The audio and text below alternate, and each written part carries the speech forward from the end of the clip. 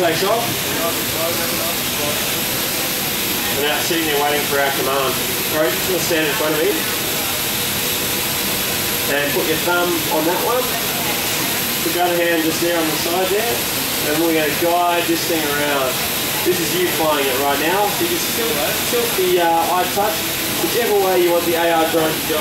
It's that easy. I don't have much gaming experience, but uh, something that I picked up really, really easily, and I'm loving it. And I've been flying this thing for, for, three, four days now, and I'm still having fun doing it. To go by yourself without me? All right. Just be gentle with it, yeah? See, and that's what exactly what the uh, indoor, indoor hull is made for. It's actually made for crashing. It's not ideal, but when you crash it, you put it straight back down like that. Press the takeoff button. Press the right and stay. You haven't damaged it, you haven't done anything wrong. What they're made for. You can still keep playing if you like. I've actually just got a three-set the trim on this one, because when it does crash, you have to make sure the trim's okay. Um, press trim and you're ready to go again.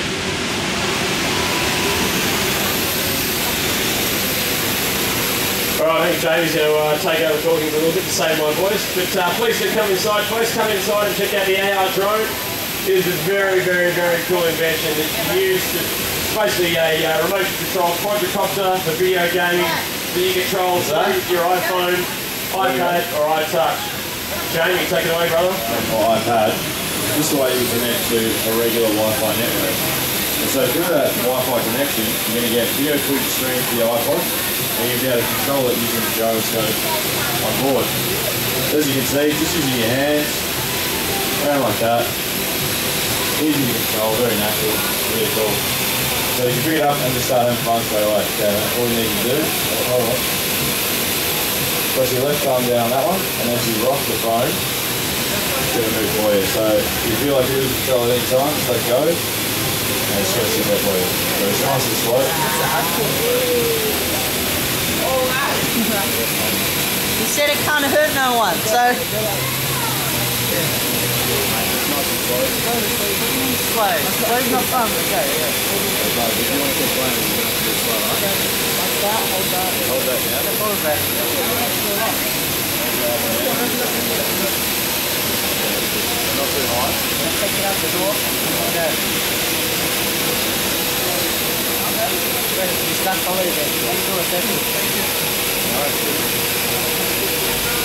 Anyone else, that, anyone else like to have a go while we're demonstrating it today?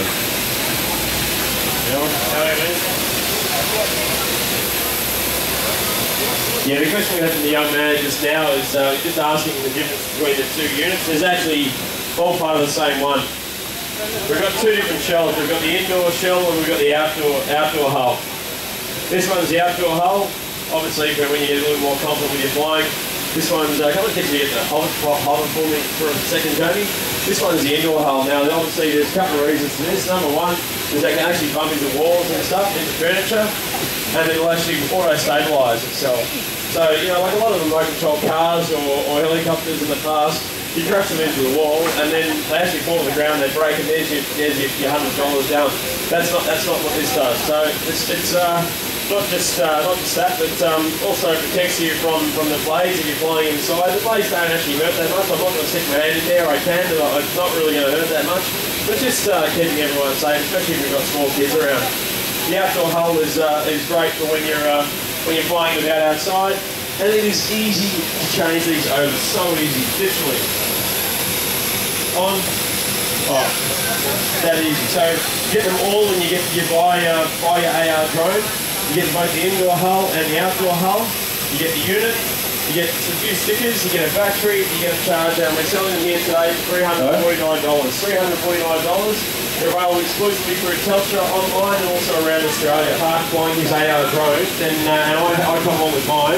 There's a second part of it where it's actually a multiplayer game. If you see on the screen there, you like you see it's uh, got the, the virtual reality side of things.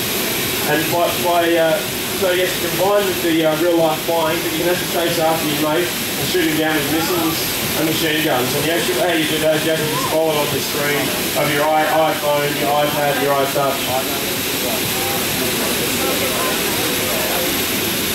Uh, no, we won't do that today. We, don't really have the space to do that today. There's lots of people around, so we have to be pretty careful with confined spaces.